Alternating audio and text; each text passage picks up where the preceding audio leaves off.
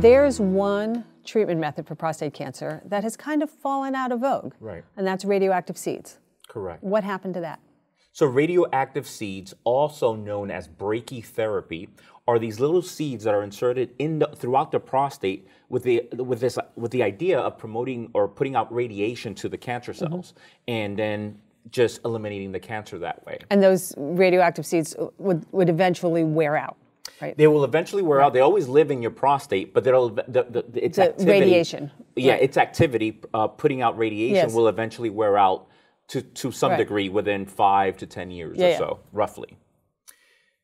And it has lost its popularity for many reasons. One is because there's less uh, physicians being trained in radioactive seeds Because because it doesn't pay that much.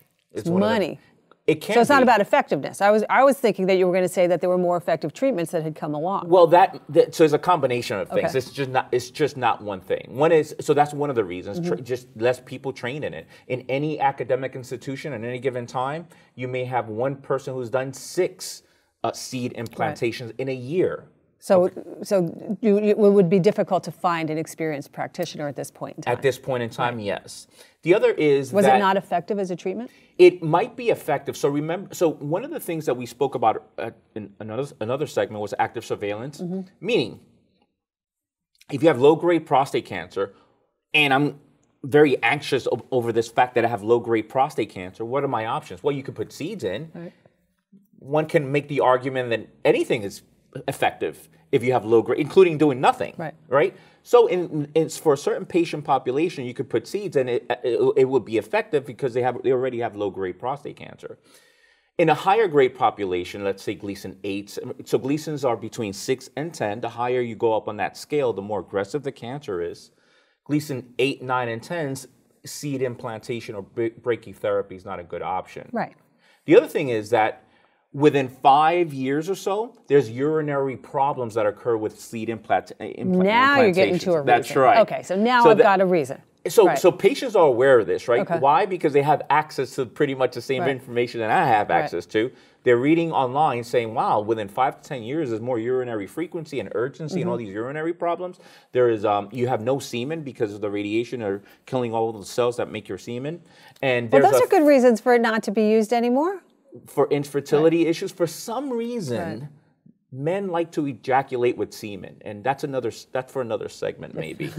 uh, but but the other thing is that for thirty percent Mm-hmm. for for thirty percent of men, it does cause erectile dysfunction as well. Okay. So it's not like they don't experience erectile. So they already have they, so they develop urinary symptoms within five years, and they have some level of erectile dysfunction as well, and there are not that many practitioners who are practicing, you know, brachytherapy anymore. So those are the reasons. Well, but it seems that and that makes total logical sense. So thank Yeah. you. So it's go because you're radiating irradiating that whole area. So your bladder, so the semen, so all of that. So that makes sense. Right. That your functionality now you're putting yourself at other risk. Well, the, the patient the patient was it the the the, the um, operation was a success, but the patient died. Right. so the exactly. The treatment was a success, but, But the, the patient, patient function didn't Right, didn't work anymore. Correct. All right. Radioactive seeds definitely on the question list. Is there anyone that should do it? Now there's all sorts of all kinds Right. of different therapies uh, Okay. available for patients so there's other things that probably is best it has to be individualized